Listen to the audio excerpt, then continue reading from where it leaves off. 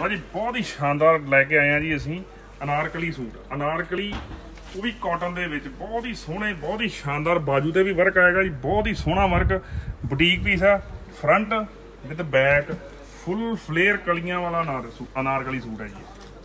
ਨਾਲ ਦੁਪੱਟਾ ਹੈਗਾ ਜੀ, ਇਹਦੇ ਕੋਟਾ ਡੋਰੀਆ। ਕੰਟਰਾਸਟ ਦੁਪੱਟਾ ਜੀ ਕੋਟਾ ਡੋਰੀਆ।